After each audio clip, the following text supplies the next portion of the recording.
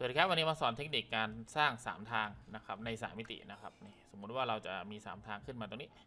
นะครับใน 3 มิติ เราทำอย่างนี้นะ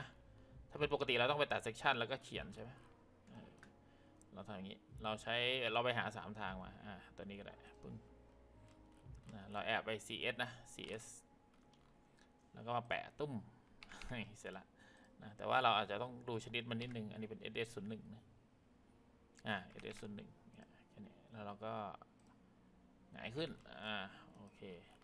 หงายขึ้นแล้วเราจะใช้คำสั่งตัวนี้นะ add in microdate นะ ไปหาโหลดได้